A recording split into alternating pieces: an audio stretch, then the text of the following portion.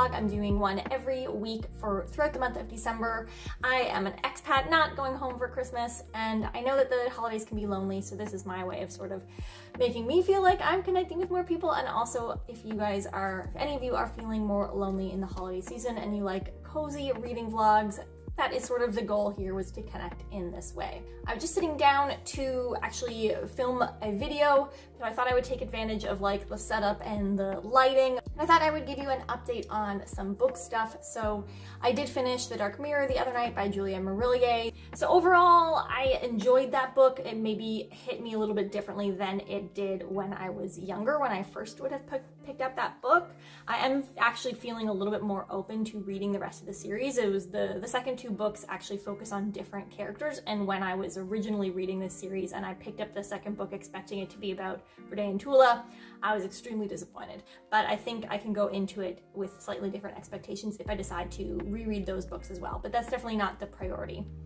I am reading still The Last Light of the Sun by Guy Kay. I just have my place marked out here. I'm just under halfway. At some point last night, it started to click for me. He has his ways of creating these moments where worlds and characters that you're not expecting to collide. It's always at night. He, he writes these scenes where just like, it's the middle of the night. He's obsessed with his two, the two moons in his world. It's the middle of the night and these characters who are sort of have things in common, but they're not the characters that you would think that would be connecting. And they're just kind of like raw and open and honest because it's the middle of the night and they're tired and whatever. And they have these like profound connections and interactions that shape whatever conflict it is that we're working our way up to. And it just got me again. Like he just, there's something about the way that he writes that really is so beautiful and it's not an experience that everyone is going to like. I will try to summarize more like my thoughts on on that later. Definitely still like I mean I'm at what 258 or something like page wise and I'm just now getting the sense where I'm like okay I think this is what the conflict is going to be but I'm up until the 200 page mark it was sort of just still felt very like setting up all of the different characters that we're following. We, ba we basically follow every named character, right? Like at some point you're going to get any named character's point of view and that's very much so Guy Gavriel Kay's writing.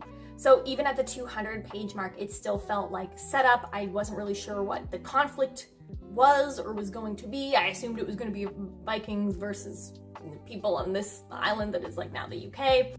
Anyway, it is starting to grow on me, or at least I'm starting to care a lot more than I did up until the 200 page mark. There was something that I wanted to read or share, just like a little blurb of like something that I think summarizes some of the things that Guy Gavriel Kay does with side characters. So like I said, if a character is named, you will, its odds of getting their perspective at some point is very high. And he does this in particular with side characters, like even random people who don't really play, no, who play a role, but they're like, it's that random guard who did this thing in any other book. Guy Kay will like give you that person's whole story. This character isn't even important. He like delivers a message from one character to another and that's it. And then we have like a whole three, four pages from 167 to 172 of just summarizing the rest of his life. We just wrap it all up and that's such a Guy Gavriel Kay thing to do. You might really hate it. But he started this one off by explaining sort of his idea with this, which is a big Guy Kay thing. Anyway, so it says, at the margins of any tale, there are lives that come into it only for a moment. Or, put another way, there are those who run quickly through a story and then out, along their own paths. For these figures, living their own sagas, the tale they intersect is the peripheral thing, a moment in the drama of their own living and dying. So, and then it goes on to like, this guy delivers this message, and then we get his whole life, because, like he says, everyone is on their own path, everyone has their own story, everyone's doing their own life. We're focusing in on here, but the people passing through that play a minor role in this story have their own stories. And that's just it's a beaut it's a beautiful, but I would suspect like not everyone's gonna like this about his writing. I am still doing audiobooks, like a mix of an audiobook and a physical book. However, the audiobook that I next had lined up was Tigana by Guy Gavriel Kay, and I just feel like that's too much Guy Gavriel Kay all at once. so what I instead did was I looked and Scribd also has the Last Light of the Sun on audiobook. So I've switched and when I'm out running errands or doing stuff in the morning, I'm actually listening to the Last Light of the Sun on audiobook and then reading the physical book sort of whenever I have time to read it physically. And I got an email about The Liar's Knot, an estimated delivery date. it's not anytime soon or like it's not immediate. So I got an email on, I guess, the 7th or the 8th saying that it's expected to be delivered on the 17th of December. So I'm still waiting for The Liar's Knot. It was going to be my last anticipated release of the year, like the last new release of the year that I was going to read. I did have some videos planned that were sort of my like Fab Fine Flop series where I talk about whether or not a new release from the year was a fab, was fabulous, fine, or a flop. Um, and I was going to do my second half of the year one planned for like that week because I thought I would have gotten that book and read it yet. So I had to jiggle around some of my scheduling for the channel. But anyway, I it'll it'll get here by the 17th on in and around the 17th and I'll read it then, but it means that I had to jiggle around some of my video scheduling and now film an extra video that I wasn't planning to film until later that's where we're at. I will keep you informed. Not sure what I am going to pick up next reading wise. I've got a couple possibilities.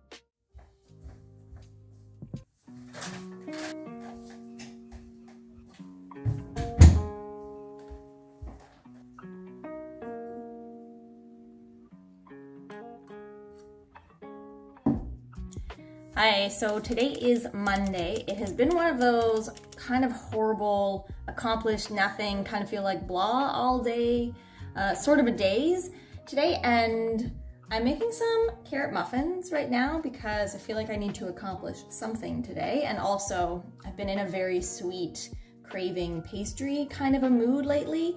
And so I thought I would do something that I at least had control over the quantity of sugar that goes in them and that way maybe I feel a little bit better about what I eat. I do have to teach only one yoga class later this evening, but otherwise my day has just felt like a total wash. I have not done any reading. I have watched a bunch of booktube videos. I feel like the only thing that I actually accomplished today up to this point is to paint my nails so yeah, it's one of those days. I thought I would update you on where I'm at with reading. I actually have not been doing too much reading the last few days. I just haven't made a lot of progress, but I thought I would touch base since it's been a few days since I checked in. But let me get started with the muffins and I will update you.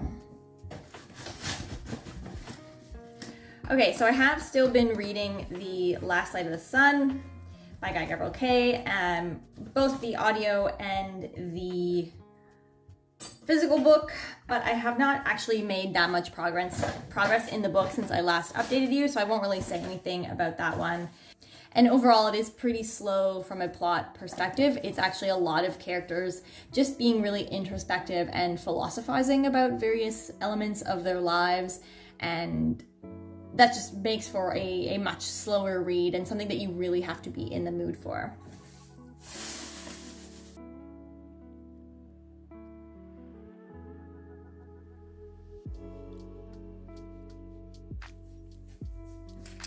I started reading Wildwood Dancing by Juliet Marillier, which is one of her young adult series. It's actually sort of a standalone, or I've heard that it works as a standalone. So much cinnamon. But it does have a companion piece sequel. This one is set in 16th century Transylvania, which is very cool. It is folklore inspired. Yes, one and a half teaspoons. it is folklore inspired from that region of the world, which is nice. It's new to me. I have heard that it is loosely inspired by um, the 12 princesses, but I don't know that story. So I will look it up after I finish reading to see what kind of crossover it has between the plots. There are five sisters. We follow one, the second oldest sister called Jena, and these five sisters live in this castle in Transylvania. And when they moved in, the girls discovered that there is this sort of portal within the castle that transports them not to another world, but to the other world, like the Fae world that exists within the forest that surrounds their castle and they basically go there every full moon. And in the first time that we go with them uh, in the first chapter they there are night people for the first time that the girls ever see and this is actually vampires but because it's written when it was i guess it predates bram stoker's dracula and i guess maybe he was involved with coining the term vampire or something. They weren't referred to as vampires before that point so that's why they're referred to as night people. Just interesting random fact. Anyway, it looks like one of the oldest sister kind of has a not a fling, but like it looks like she's really interested in one of these guys. I don't think that that is the point of this story. It seems like just sort of an offshoot. It's definitely not paranormal romance. but there's a couple different magical components. So they keep referring to this witch, Dragusta, I think is how you would pronounce that. There is a pronunciation guide, I just am forgetting. And then the other magical component that I think is happening is that Jena has a animal companion frog. And I'm getting really strong frog prince vibes. I'm not sure if that is 100% gonna happen. I'm just guessing. But basically the frog can talk to Jena in her head, like she can understand what he's thinking and says to her, and she just talks back to him out loud and he hears and understands. I'm also 99.9% sure I know exactly who this is because in the chapter that I just finished, we got a little bit of a backstory. Half a teaspoon salt. I will get that later. Can I?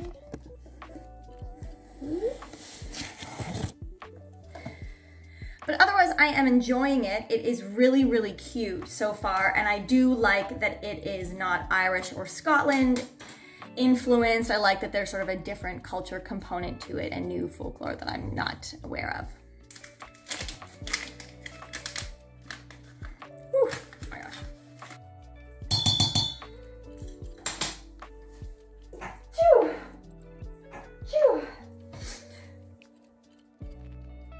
Okay, ground ginger. It was so strong. As soon as I opened the packet, it was just like all in my nose. Okay. I cannot find cloves. I think that it might, if we have it, it's behind where my phone is. So I'll have to come back to that later. Oh my gosh, it smells so good. Okay, that's Wildwood Dancing. Enjoying it. It's really cute. I'm 20% in. I'm getting like the the real real world problem is going to be that their father leaves away for the leaves for the winter because he's ill and the girls are left to themselves to take care of his business and things and it feels like there is this like sort of aggressive, pushy male cousin who lives next door who seems like he's going to be probably inserting himself in their business and become sort of a real world problem in addition to the magical ones that I'm sure will also come. Last night, uh, before bed, I was struggling a little bit to fall asleep. Like I was sleepy, but not really, really sleepy. And if you watched my goals video that I released today, actually, uh, Monday, you know that the scribd scrolling and going to bed and putting a book down before midnight is a goal of mine moving into next year. So I did do some scribd scrolling last night after midnight but not for very long. I did pick a random book called Our Stop, and I did read a couple chapters. They were very short chapters. I was not up that late after 12. And I think that I'm going to DNF it. I think that's where I'm able to draw the line where maybe before, like being cognizant of this goal, I can stop myself. Whereas before, I probably would have just kept reading. I like the premise. It is one of those missed opportunities sort of a thing where somebody writes in the newspaper, like, oh, you looked like this and we were in this place. Um, so that's the premise, and then keep missing each other, but they sometimes occasionally take the same subway train, like the tube, because it's in London. I like that premise. I think it's cute. I would be interested to see how it is executed, but I'm already really not enjoying the writing style. It is very heavy on the pop culture references, which is usually not my thing. The only time that I found that really worked for me was Beach Read by Emily Henry. But otherwise, within, I think the first page and a half on my phone too, so like small quantity, all of the framing of who this main character was was through pop culture references. I think there were probably a conservative 15 pop culture references in the first page and a half, and it was it's just too much for me. I did go back and read a little bit today to see if kind of fresh morning eyes because I was falling asleep. Uh, if I liked it any better, and I do not. So I think I'm gonna be strong. I'm not gonna finish it, whereas maybe in the past I would have. So I'm gonna DNF it and be like, you know what, not for me. I'm still sort of on the hunt for romance books to fill up like a TBR list for when I want to read romance. I do have In a Holidaze on the list, but I want to wait a little bit closer to Christmas to read that one.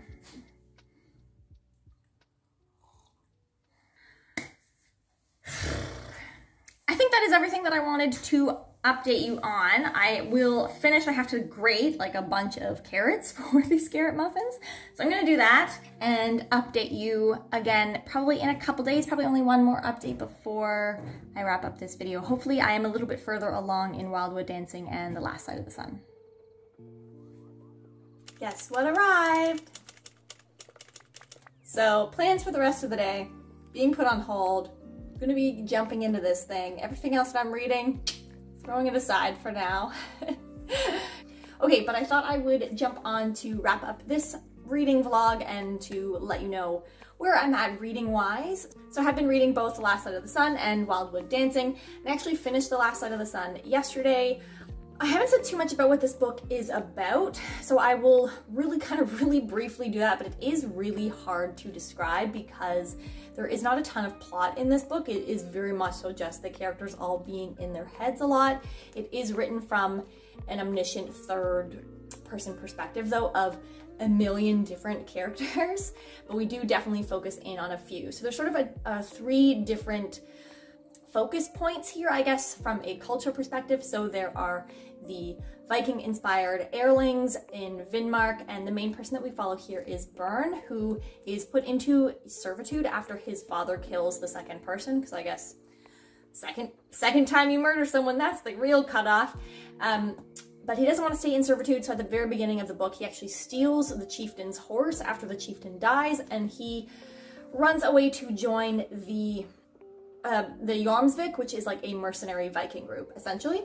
And then in on the UK side of things, like historically, this this kingdom, this island, we follow the the Cyngael, which uh, is uh, the western portion of the island, so it's sort of Welsh inspired. And here, the main character I would say that we follow is Alun Ab Owyn, and this is a young teenage boy. He is the second prince in line to a one of the provincial thrones within their culture. And additionally, we get the Anglicans, which is a kingdom within sort of the center of the island, as far as I can tell. As I said, there isn't much of an actual plot. Oh, and with the Anglicans, sort of we we follow the king, King Aeldred, and we get his history and backstory, and we do follow or get a couple different perspectives from a couple of his kids. But without getting into spoilers, suffice it to say that sort of these three different cultures and plot lines merge and clash and we see not necessarily the fallout of that but just basically we see how this all fits together and how more specifically our characters are dealing with this ongoing and unfolding situation. I did find that it just meandered a little bit in that like really not that much happens from a plot perspective and I didn't love all of the characters. I didn't even really bond or connect with with the characters. None of these characters were written in a way that you like really, really deeply feel and connect with them. It was quite arm's length distance if you are someone who's a character reader. There is a weird Fae component to this book where some of the characters are able to see the Fae in the other world, but this is at this time a very, I mean, it's not, they don't use the word Christianity, but it is a, it is influenced by Christian kingdoms. The Fae storyline has a weird component to it that uh, honestly I just didn't see the purpose. I didn't see what it added to the story other than that there was elements to it that made that internal conflict within some of the characters like that I understood, but otherwise there's a little bit of a, of a like a plot thing that I just, I, I didn't see that it was necessary. I didn't see that it added or brought anything to the story. So I was a little bit confused by that. If you are generally turned off or avoid Viking inspired books because of the pillage and plunder components, this is not that style of Viking book. We don't really witness them actually doing any significant raiding or pillaging or plundering. Sometimes it is referenced, but that is not what we see in this book. There are quite, there's actually a surprising amount of references to something called the Blood Eagle, which if you watch the HBO series The Vikings, you know what that is? We don't actually witness it happening to any characters, although it is one time described. Like, it, there is a description of what that would entail, but we don't see it enacted. But otherwise, that's not the focus of this. It's not that like traditional, like, raping and pillaging and plundering. Like, it's, that's not what, we're not seeing that. The final thing that I wanted to say about this is that I do reference occasionally on my channel that I'm working my way up to doing a where to start with Guy Gavriel Kay video. I, I'm, I am like actively working towards getting that. That's why I'm doing some rereads. And I will address a lot of things with Kay's writing in that video, but I will say that there are some reviewers that find Kay's treatment of women particularly odd or like offensive. I don't generally, and I have more to say about that. I think there are some examples in his works of like the exact opposite, but I would say that this is not one of those books. The women perspectives that we get in this book feel a lot like they are observers in this world, and that is, I think, a statement in itself that at this period of time, women had to function in this way, and there are probably many who felt as frustrated as some of these characters feel about that situation. Many of the women characters that we get their perspective of, they do contribute to the story and to the falling out of everything that happens, but it generally feels like it's going through a man in which they're interacting with. And again, I think that that's part of how the world worked at this time in history, that that is the way that women could shape and change the world was by influencing powerful men in their world. But because of this, it does feel like a lot of the female characters don't really have any agency and are generally just observers in this book. So I wouldn't say that this is the best example of Kay's writing when it comes to women and female characters. But again, I think that that's the point. Like he he's not someone who rewrites history. He's taking a time period and exploring what it would have been like at that time. And this is what it would have been like at that time for women, but I can see that some readers would really not like that. Okay, Wildwood Dancing, I am 50% in, 48. I am enjoying it. It is still really cute, but I basically have gotten to the point, kind of at like the 25% mark onwards, of things starting to go wrong. And they're going wrong in a way that gives you that horrible stomach ache feeling where you're just so upset about all of the things that are happening that it's uncomfortable to read through because you're so frustrated. You can see that it's going to get worse and worse and worse, and you're like, don't want to experience that. The cousin is definitely becoming a problem. It's very icky, like in what he's doing, the way that he is sort of taking over the girl's household and enforcing his male dominance on their lives. He like actually takes their money boxes away from them, like their their business money box and their personal household finance boxes. He just like takes them from them. And the whole time the main character's being like, "No, I you can't do this. This is not your responsibility. This is not your money. You're not in charge of this household yet."